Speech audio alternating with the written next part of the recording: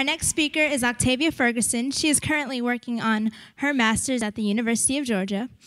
For interesting fact wise, she enjoys watching Disney movies, traveling, um, um, excuse me, travel, nationally advocating, and eating food.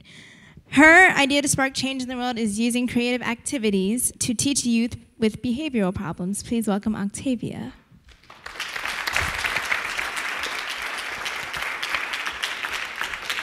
Thank you very much. I was just really thinking about how it's probably not best for me to go directly into my speech because I'm so nervous. So I was trying to figure out a way, like as I was sitting down, to reduce my anxiety. So I was thinking about taking off my glasses so I can't see you all. but I really can't see. So I was just thinking about, um, like my boyfriend, he has this phrase to kind of um, describe my clumsiness, and he calls it like tay-tay proof. And I was just thinking like that's not tay-tay proof at all. Like I would have knocked down the bugs, it would have been a whole mess. So I was just like, I'll just deal with it. So um, Paul Torrance, an American psychologist known primarily for his work on creativity, observed creative individuals to be altruistic, energetic, persistent, independent in thinking and judgment, radical, stubborn, and disturbed by organization.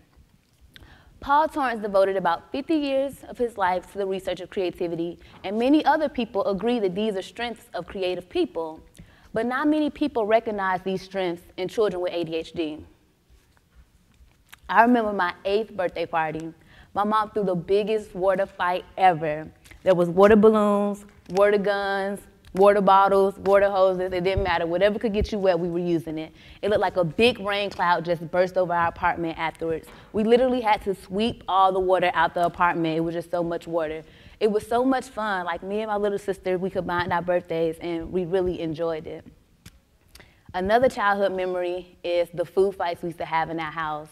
They always happen towards the end of the month, but at least one day out that last week, the kitchen walls will be decorated with ketchup, mustard, mayo, flour, and beans. Until this day, I cannot think of anyone who could play a game of hide and seek as well as my mom. She would get us kids together. I'm the oldest of six. Invite my cousins. It's like six of them. And the neighborhood kids would come over as well. And she'll start off with a scary story. She told the best scary stories ever. And afterwards, you know, she would go outside, take the hanger out the breaker box, and the game would begin. It'd be so dark and scared that you'd want to partner up with someone because if you was by yourself, it was very likely that you'd kind of like whimper a little bit and get caught. We used to have so much fun.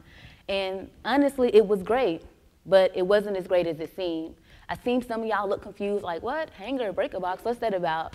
So yeah, my mom, she, again, you know, um, she found a way to turn the lights back on illegally, and that was, that's the way that it was. In the food fights, well, they always happen towards the end of the month because that's when all the food stamps ran out, and that was typically our way of kind of celebrating that we're about to have food for the next week coming. And the water fight, that birthday, well, all we could really afford was water, and that was because we didn't have a water bill. We didn't have much, but my mom had made what we did have great. She was creative. Any child in the presence of my mom was a child affected by creativity. But sometimes her creativity wasn't used for positive, and sometimes no matter how creative she would get, she just couldn't make things right. And I guess that's how we ended up in foster care.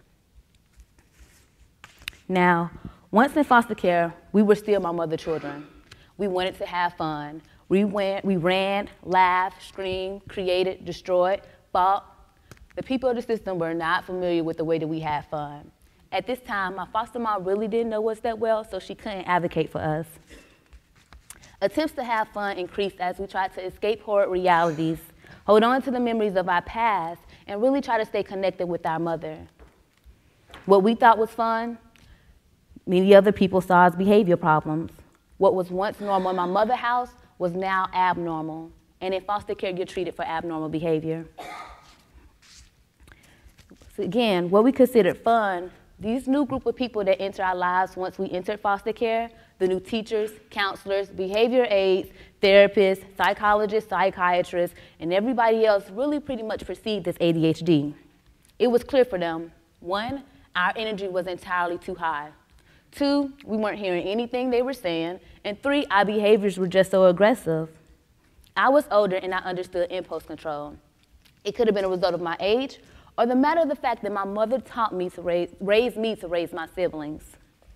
I yearned for that physical release and, and stimulation that we received from my mother house, but I also enjoyed learning.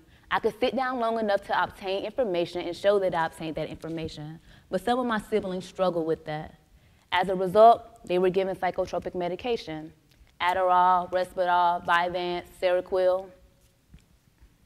These medications were given to them to help them focus by suppressing their behavior problems. Now, I have so many issues about how the medicine was given to them. One, the amount given to them. Two, the quality of services or the lack of quality service offered with the medication. Three, how did they even decide that the medication need, was needed? The bigger problem, however, is the fact that these children's lives were put at risk for the sake, with, with the sake of chemical manipulation. I'm not a supporter of medication, though I do recognize that the benefit that it has for many people. However, the harm scream out to me weight gain, diabetes, suicidal thoughts, addiction. But what bothers me the most is the fact that the energy reduce, the medication reduces energy. Energy is power, energy is life. A reduction in energy is a reduction in life, and I don't feel like anyone's life should be reduced. When the medication was offered to me and given to some of my siblings, and even more of my siblings and my sisters and brother in foster care, I wondered, did the professionals take in consideration that perhaps they were not communicating effectively with us? Did they take in consideration that we just really needed to release that energy that we had? Was, did they even consider that perhaps their teaching methods just sucked and they were plain old boring and that's why no one was paying attention? Youth in foster care are three to five times more likely to receive medication for behavior problems. This same population is three to 10 more likely to receive a mental health diagnosis. And once in foster care, many of these youth are placed on multiple medications at one time. This is a population that has experienced extreme traumatic events. I remember when I was placed in care, I was lonely, I was scared, and I was angry. All I wanted to do was get back home with my mother. However, medication is not the solution. Now, I've always been a rebel. Call me bad, recalcitrant, revolutionary, whatever. But since I've heard of the use of psychotropic medications once placed in foster care, I've rebelled against them. I can't, again, I understand the benefit, but I can't help to see how this medication is pinning us kids, our children, and the future down for the sake of control. At an early age, I joined many organizations advocating, attempting to reduce the amount of psychotropic drugs given to foster youth and adjudicated teens. But perhaps it's the ADHD in me that had to be active and do more than just advocate. I needed to provide an alternative. My inspiration came from my mother. My mother house was a place for physical release. There was always an option and opportunity to release any pent up energy that we had. I remember that clearly, and I made sure I applied it to my occupational goals. I'm working on creating my alternative education energy transference center now, my mentor, Albert Einstein, really paved the path for me when he said, everyone is a genius. But if you judge a fish by its ability to climb a tree, it will spend its whole life feeling like it's stupid. I also like to remind you that energy cannot be created nor destroyed, but only transformed into one form or another. I received my Bachelor's of Arts in Psychology at Spelman College, and I'm now working on my Master's of Education in the Gifted and Creative Education program at the University of Georgia. In addition to the time that I've spent in care, my studies revealed to me that there are better ways of dealing with behavior problems than using chemical manipulation. My center will be technology driven. Technology provides the stimulation necessary to capture the attention of the youth nowadays. My, my center will be heavily based in physical release. It will include a dance studio, a football field, ecotherapy, the youth will be expected to overcome physical obstacles in an effort to understand the connection with overcoming social and emotional obstacles as well. The center exists, my center exists to empower youth with behavior problems that may affect their learning by providing them the opportunity to release their energy, a safe place to express themselves and learn how to communicate, teaching them ways that align with their preference, in therapy and therapeutic measures to teach coping mechanisms. Aristotle said that the energy of the mind is the essence of life, and I too believe that there is nothing wrong with America that faith, the love of freedom, intelligence, and the energy of her citizens cannot cure.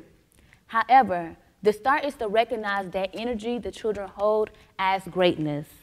That energy should be developed, not suppressed by drugs. And please, people, look past the labels that us foster youth have and recognize that we too are great. One of our greatness is our creativity. Difference does not equate to less than, and the medication does not add to us. Thank you.